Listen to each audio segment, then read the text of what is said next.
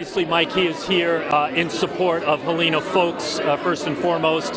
He endorsed uh, Helena Foulkes in the campaign just a couple of weeks ago and joined, as you say, by Mayor Jorge Elorza of Providence. Mayor, it's good to see you. It's great to be here. Um, so, obviously, the numbers aren't going exactly in the direction that the Foulkes can't. We haven't called it yet, but it's not going in the direction the Foulkes campaign wants. I mean, uh, I still haven't checked to see where the un, well the, the uncounted votes are coming from, so that really depends.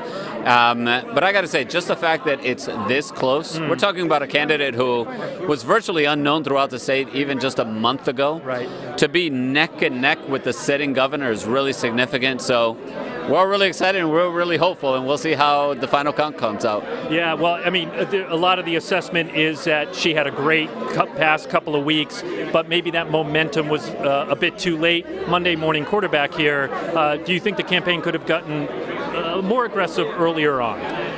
You know, my, my take on it is that I don't think it was so much the campaign. I think it's just the reality of campaigns throughout the country right now where there's so many undecided voters right up until the very end. And uh, I don't know, it, it, it's interesting. Over the past couple of years, there's so much in it, you know, intense emotions in um, in you government. voters are sick of it right now. Are I they just tired? Just like an apathy yeah. to it all. I mean, that's the end result of it all, and so it was really hard to get folks to pay attention. But I'll tell you what, as soon as they started paying attention, Helena Foulkes just like shot through the moon. And uh, that's why we're at a point right now where it's neck and neck with her and uh, Dan McKee, the sitting governor. So I don't know how it's going to turn out, but just the fact that we're sitting here and it's this close is really significant. Uh, another race that we haven't called, but pretty close. Brett Smiley looks like he's pulling away. Uh, what, what's your reaction to that race? You had endorsed uh, Gonzalo Cuervo in that race. So um, yeah, it looks like uh, Brett is pulling away, and uh, I got to tell you, I got to give him a lot of credit.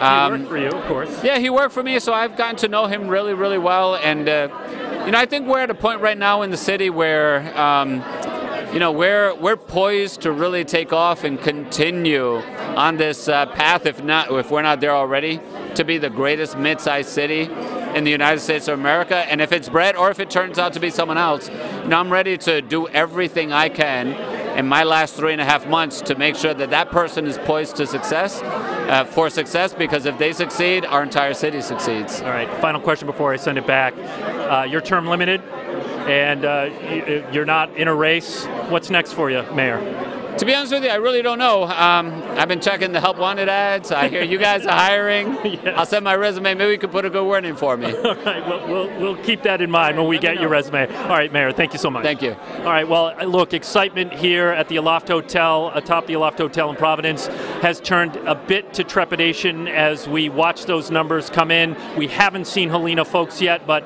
you know, obviously as this uh, race gets closer to being called, we'll probably uh, see her out here fairly soon. For now, send it back to you in studio.